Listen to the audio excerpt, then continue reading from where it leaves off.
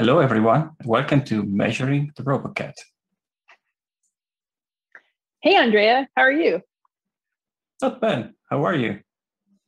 I'm pretty good, actually. My recovery is 94% today. Oh, recovery. What are you talking about?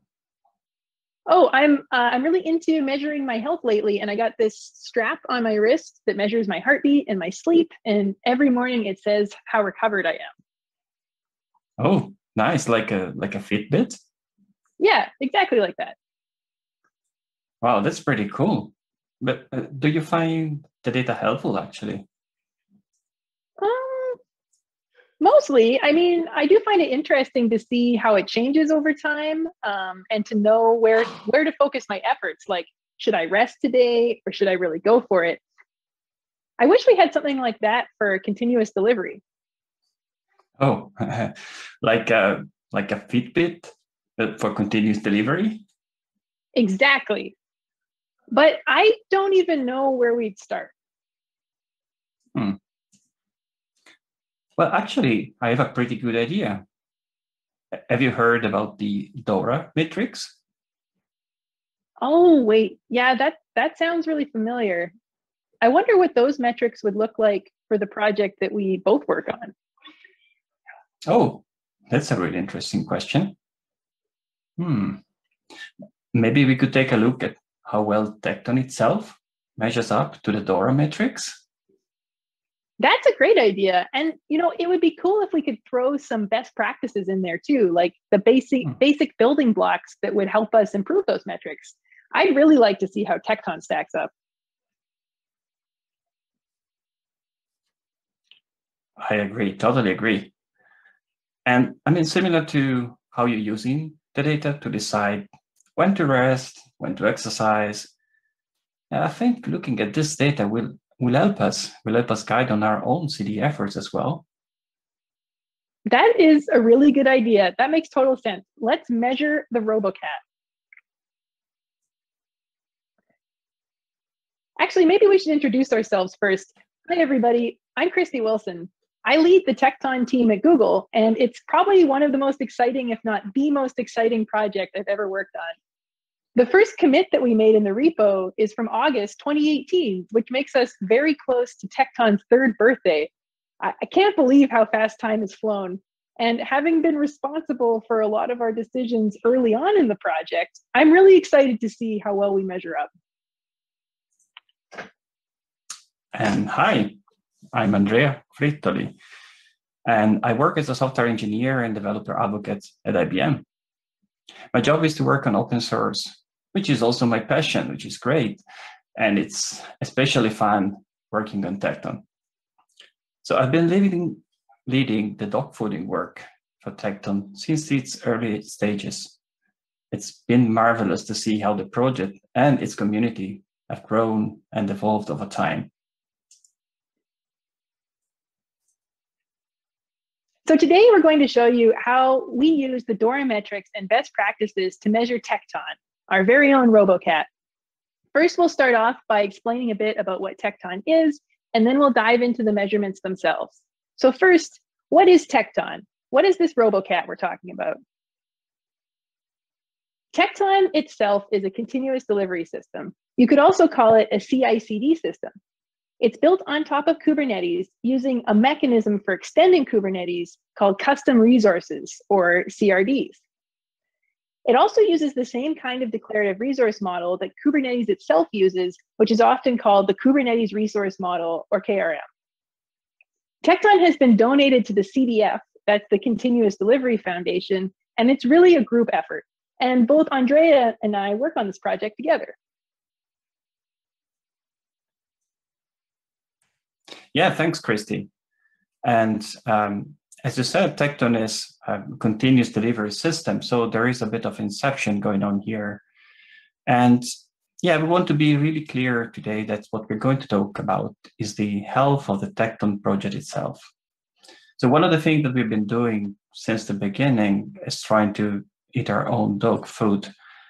Uh, so yeah, use Tekton to build and make Tekton itself. We're not all the way there yet, but we have placed a lot of importance on, on these, and we've worked on a lot of automation and continuous testing in place from the very beginning. And if you're familiar with the Tekton project, you probably know that when we say Tekton, we could mean the overall project or one of the 15 or so projects that are actually part of the Tekton organization. That's a good point, Andrea. So in this talk, when we say Tekton, we're actually talking about seven of those projects, uh, the ones that we collected these metrics for, which are pipelines, triggers, results, CLI, dashboard, hub, and operator. But keep in mind that there's actually more to Tekton than just that. This is kind of an overview of what all the projects look like and how they relate to each other, or all the ones we're talking about today. We have the dashboard hub and CLI, which users will use to interact with our core APIs, which are results, pipelines, and triggers. And then there's the operator, which manages the installations of all these components. Yeah, indeed. So um, you could roughly group the project, this seven project, in a few groups. And like the, the dashboard, the hub, and CLI are the interfaces. Then we have the, the core components, pipeline, triggers, and results. And finally, the operator that manages them all. So I guess the question is with all this different and different kind of projects, um, how do we go about measuring their health?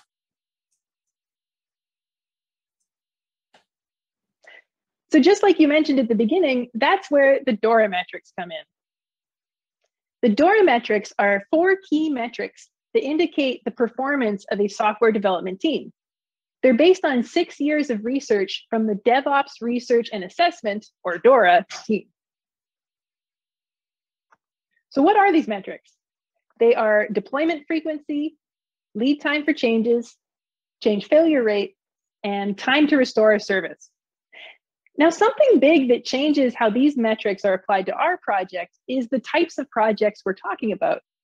These metrics refer to service deployments and time to restore services, which makes perfect sense if your team is running a service, but what if you aren't? For Tekton, we do run some services, but ultimately we produce software that is actually run by other people. Let's take a look at the seven Tekton projects that we want to measure. What kind of projects are they? We can group them broadly into three categories. The hub, which is an interface to the Tekton catalog, is the one service that we run, available at hub.tekton.dev, and we need to release to it and keep it up and running. But the rest of our projects are all intended to be run and operated by other people. Five of them are run as services, and then there's the CLI, which will never be up and running and has no concept of uptime, downtime, etc.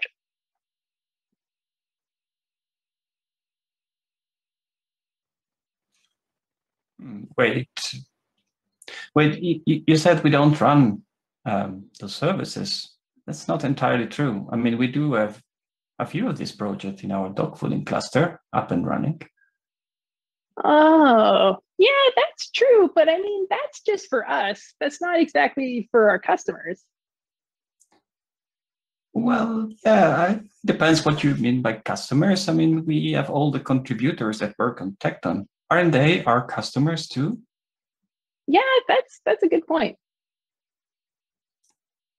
Well, I guess one is what we could do, we could look at these metrics and we could look at our deployments to the fooding, maybe combine both words? That's a really good point. We could look at the deployments to our dog fooding cluster. And maybe another thing that we could do is we could take these metrics and instead of talking about deployments exclusively, we could also talk about releases. Hmm. So instead of deployment frequency, we could talk about release frequency. And instead of time to restore a service, we could talk about the time to release fixes. Hmm. Yeah, that's a good idea. Sounds interesting indeed. Um, what we could do, maybe we could look at both um, releases and deployments and see what we can find out. Sounds good. The more data, the better. Okay, so the first metric we are looking at is the deployment frequency, which we could also call release frequency then. So this is a measurement of how often an organization successfully deploys to production, or then in our cases, releases to end users. The DORA folks have measured what this metric look like for the four groups of performance, starting from low through medium, high, and elite. This means that although it's just a correlation, you can get a sense of which kind of performer your project is just by looking at how your metrics compare to these groups. For deployment frequency, uh, specifically, elite performers deploy multiple times per day, while low performers take one month or more, many months to deploy. So let's take a look at how Tekton measures up. So remember that Hub and our dog fooding services are the only actual running services that we deploy. So we're going to take a look at Tekton from a couple of different angles. So looking at release frequency, this is um, an overview at a glance of our seven highlighted projects. And you can see that we started very early with pipeline and then CLI and dashboard followed soon after. Triggers came then, and more recently we had releases for the other three projects we are discussing about, so Hub um, and Operator and Results, which only had two releases so far. So if we look at the numbers for all these projects and we compare them against uh, the DORA um, groups, the DORA buckets, we see that we have a few of the projects um, that would perform as medium, like pipelines, triggers, CLI, and dashboard. And the more recent ones, results, hub, and operator, they are still in the low bucket. So if we consider um, nightly releases as well. That takes four of our projects into a higher bucket, in the high bucket, because then we have an average day between releases that goes to one. The reason we are a bit hesitant to include nightly releases, though, is that um, well, you can install them, uh, but we don't have release notes for them uh, published on GitHub uh, with warnings and upgrade notes and so forth. And so um, users would have to discover these releases, find out what's inside before they, they install them. A potential way we could improve this then would be to, to publish our um, to publish our night releases along with release notes as well. We would have to do a bit more automation work in the release note generation, but not too much. So now instead of um, looking at the lens of releases, we could also look at our deployments to dog fooding uh, as we discussed. And yeah, these deployments are actually a bit less frequent than our releases. So often what we do, we wait a little bit to see, is there, maybe there was a regression or some issue reported that we would do a minor release and we don't want to get that issue directly into our dog fooding cluster, which is dear to us. Um, so at the end, we end up pretty much in the same performance category. So for pipeline, triggers, and dashboard, which we deployed to the fooding, we would be medium and result as well. It was only deployed once, so we consider it low uh, performance there. So if you put all together uh, the different views or lenses that we have seen on uh, deployment and release frequency, we end up with um, most of our project is overall in the medium bucket, except for hub and results, which are most recent ones in the low. Operator uh, is current to medium because it, it's uh, building nightly releases, so that increases a little bit its performance. Nice. Thanks, Andrea. That was really interesting. I feel like we found out a lot already about some potential improvements we could make. Let's look at the next of the four DORA metrics, which is lead time for changes. This is how long it takes a commit to get into production.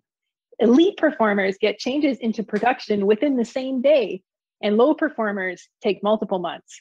So for Tekton, we're going to define production as making releases available to our customers. Even with this metric, there are a few different ways we could look at this for Tekton. The first way we're going to look at it is the time between releases. So if a commit is merged, it's going to automatically make it into the next release. And you can see that there's actually a pretty wide range of averages here. We go from 35 days for pipeline releases up to currently 78 days for results. But again, we have far fewer releases to look at. But all of these fall into the low performance bucket.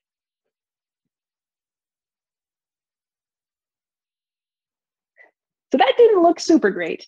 But a different way we could look at it is what's the time between when a change is actually merged and when it makes it into a release? So instead of just looking at the time between releases, we can look at the time from when something is merged to when it actually makes it into a release. And that looks a little bit better. And we're kind of back on track for medium performance in most of our projects, except for the operator, which is a little bit of an outlier and has a lower performance. So that was a little bit better but it's ignoring all the time that has to pass from when you actually open a pull request and when the merge happens. For example, all the code review and back and forth that comes with that. So one more way that we could look at this is the time between when somebody opens a pull request and then when the change actually makes it into a release. And when we look at it through this lens, our metrics become a mix of medium and low performance. So this is how the second DORA metric shapes up overall for our Tekton. With us, again, attempting to kind of average the performances to draw a conclusion overall. Now, the operator has a significant disadvantage here because it is downstream of all the other projects. It literally bundles them all together. So its lead time and its performance is probably always going to be less than the other projects. So if we improve the other projects, we'd probably see the operator improve as well. Yeah, thanks, Christie. That was really interesting. And that's half of the DORA metrics down. So, and the two metrics that we just looked at have to do with getting changes in the hands of customer, whether it's a through release or deployed in an environment that I can use. Uh, but the last two have to do with things going wrong. And so the third one that we are looking at now is change failure rate, which is represent the percentage of deployment causing a failure in production which in our case translates to um, the percentage of releases which we need a patch fix for. So that is, if the release contains a bug that is serious enough um, that we need to make a new release to fix it. So to measure this one for Tekton, we look at the percentage of releases which require the patch fix. Um, and so we have a, a range of uh, percentage. You can see from, uh, well, hub, which is zero, doing really well, um, up to trigger 61. Uh, but if we compare this to the buckets uh, from uh, the DORA metrics, um, we can say that CLI and the operator fall a little bit into unknown land, but it's in the middle, so we grant them a medium performance there. Um, one thing that is um, interesting about the way that you're measuring this is that if we had more releases, the metric probably would go down. Um, for example, if you're doing release every day or counting our nightly releases, then the ratio between releases and batch releases would skyrocket. Right? And if we were releasing that frequently, maybe we wouldn't even need patch releases at all. Um, just you know, just wait for the next day for the next release and that the fix is in. Yeah, that's a really interesting point. And I think it's very related to the last DORA metric, which is the time to restore our service, or in our case, the time to patch a release when there's a problem. Looking at these intervals for elite, high, medium, and low performers, it feels like it might be a little bit unfair to talk about this with releases because if you're talking about deployments, you can automate away a rollback or you can route traffic to working versions instead of a version with an error, and that would count as restoring the service. But you can't really automate identifying and fixing a regression in a release. Even if the resulting patch is a git revert, you're still going to have to involve a person to go in, see that it needs a revert, do the revert, and then decide to make the new release. So it might not be totally fair, but we're going to take a look anyway.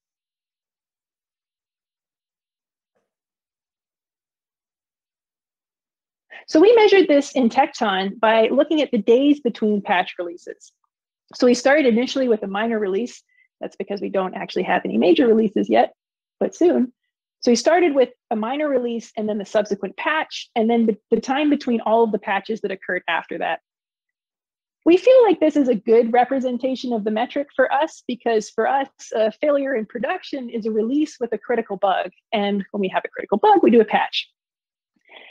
The fact that the gap is so wide here indicates that likely we could do some work to improve our testing and catch these things before they actually make it into releases.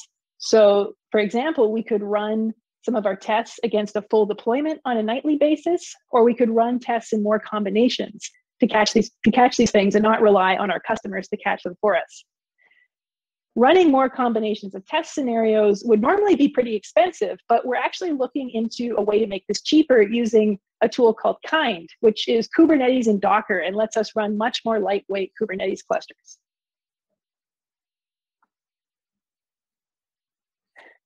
Whew.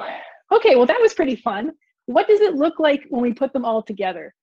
This is an overview of all the metrics we just looked at across all of our projects, and then we kind of tried to average them to draw a conclusion about each project. In general, you can see that the metrics look better when we're talking about releasing and getting changes out, and we don't do as well for the metrics around failures. However, one probably impacts the other, as we've discussed. If we were releasing more, we would probably have a lower change failure rate. Also, the metrics for the hub are kind of interesting. Until very recently, we were releasing and deploying manually, so we didn't have that many data points to work with. This exercise has raised some questions for us about how to apply these metrics to Tekton. Since we aren't running any services except for dog fooding, we focus mostly on releases. But in that case, should we be should we be comparing our metrics to the performance of projects which do new deployments? Also, Tekton is an open source project. And as we mentioned at the beginning, we have contributors from more than 150 different companies. So certainly the time to get a change in is going to be very different in an environment like that than it is for proprietary software. And lastly, time to restore, which is a metric we particularly suffered in, is tough. When you find a bug in a release, you can't exactly just roll it back the same way you can with a deployment. You have to revert the changes. And even in that case, it requires manual intervention. With all of that being said, we're going to round up and give ourselves a medium performance rating overall, which feels pretty decent, especially in light of all the questions we raised. So what could we do to get even better? We mentioned that we had nightly releases for several projects, but we were hesitant to call them releases since we don't advertise them or create release notes for them. So if we supported these a bit better and actually numbered our releases and created release notes, that would likely improve all of the metrics. Well, thanks, Christie.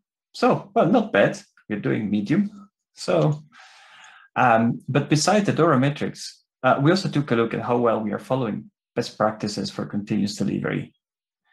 So we'll take a quick look at this, um, how what we evaluated. So we don't really want to say that these are the best practices, um, even though you could stay tuned for the findings of the uh, CDF best practices working group as they're actually looking at defining those. Um, so this is more about like some more lenses to look at the project through. And it's interesting we see some relationship with what we're seeing with DORA metrics. Um, since these are kind of a bit harder to measure, um, but still they should impact the DORA metrics in the long run. You can think of uh, like going back to the example of the Fitbit, how your diet will affect your fitness fitness performance, but uh, fitness trackers have a bit of a harder time measuring your diet, what you're eating. So um, yeah, so what we did, we analyzed some of the CD best practices. So we looked at like the brain strategy, the test coverage, things like um, the test matrices that we are running, how we, well we store test results, nightly releases, full releases, and finally continuous deployment. So the younger project like Hub and results are still in the process of ramping up. You see a few red crosses there um, in the table. Test matrices and test result collection, analysis of flakes are areas where we could improve in general across all the projects. So for instance, something that we do, we started doing recently in pipelines is uh, testing both the stable as well as the alpha uh, version flavor of the API. So other options that we could do specific in the pipeline project, but also in other projects are testing, for instance, against different version of Kubernetes. Uh, we only use one specific version now. Or we could test on top of different cloud providers, um, or even using different container runtimes. We had issues reported with specific container runtimes before. So, but apart from these areas, I mean, improving on the, the met- metrics testing, I think Tekton is in pretty good shape.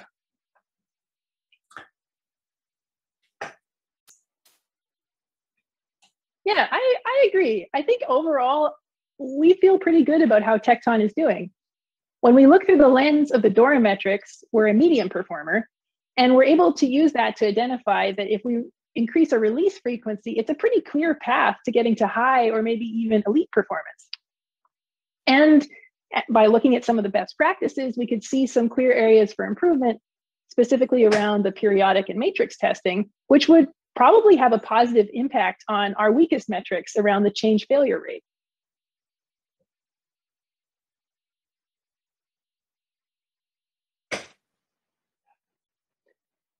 So just looking at our projects through these two lenses was really informative. And as an open source project in particular, I feel like there are always a million things that need to be done. So it's really helpful to see how these metrics can show us where it's worth focusing our attention. And we're willing to bet that you'd find these lenses just as insightful for your projects. Even if you just started with measuring your deployment or release frequency, that would be a great place to start, especially since it seems to impact all of the other three metrics. So maybe take a look at your project, measure the release frequency, and you can find out how does your project measure up? Are you an elite performer or do you have a ways to go? And that's all that we have for you today. Thanks very much. Thank you. Thank you, Andrea. Thank you, Christie.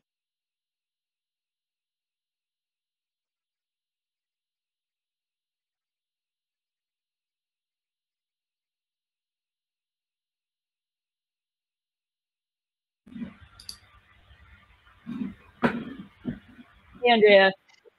Hi, Christie. Hello, everyone. Well, so I think we have time for a few questions, and it looks like we've got one from Adam already. I wish that could answer for it. Um, I think we both wrote scripts for this that could more or less be applied to any project, but I don't think they're, mine at least is not in like a production ready sort of state. Yeah, well, we, we do have some scripts, and I think uh, they're maybe not production ready, but they're I think based on GitHub API uh, a lot. Uh, so we can definitely share those um, if you want. And um, in, in future, um, we'd like to, we, we thought about we could uh, start using events, cloud events, at least for the services that are running like Hub and uh, results, that we, we run them as services so we, we could uh, collect data about installed releases from there.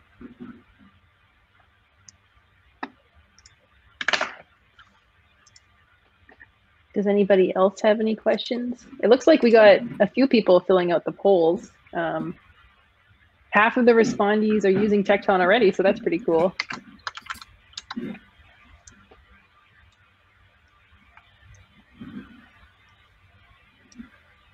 Nice. And a few already started measuring their DevOps metrics or trying to get started, which is quite positive.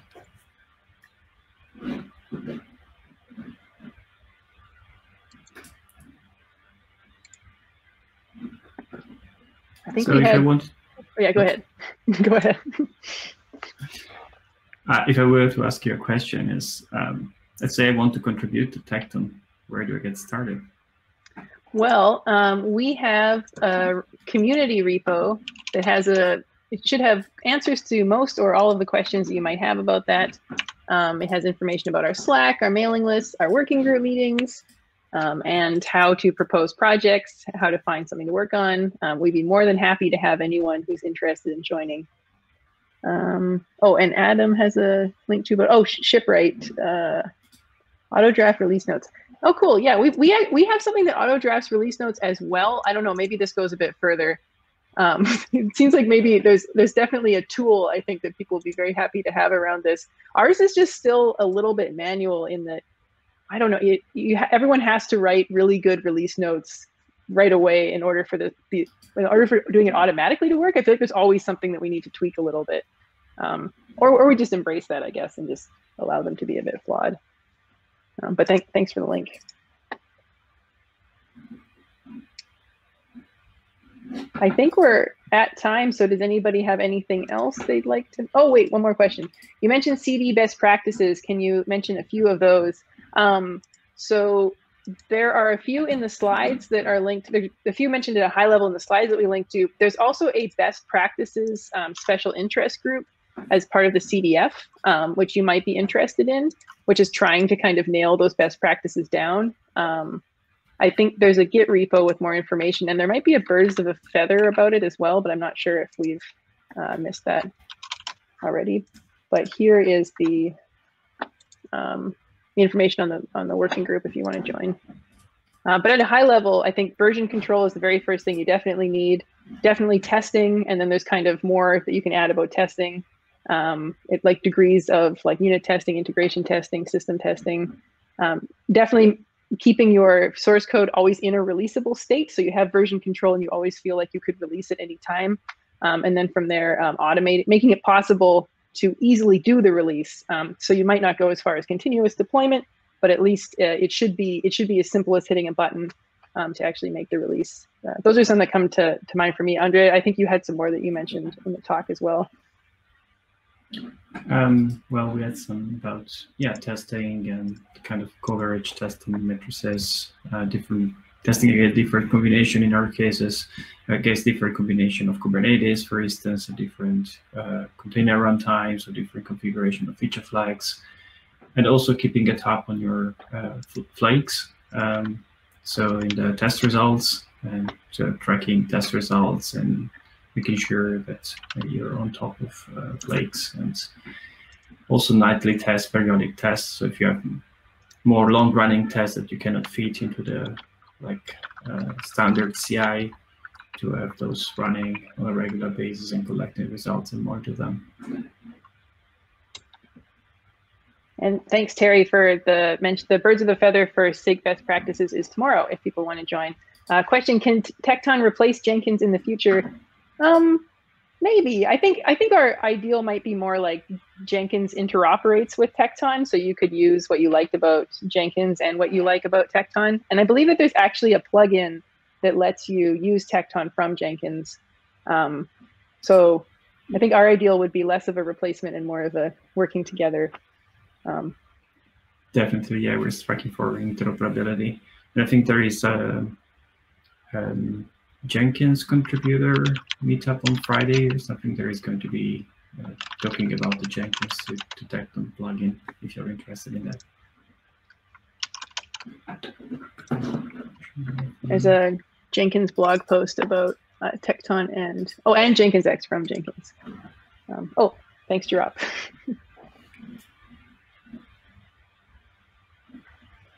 Great.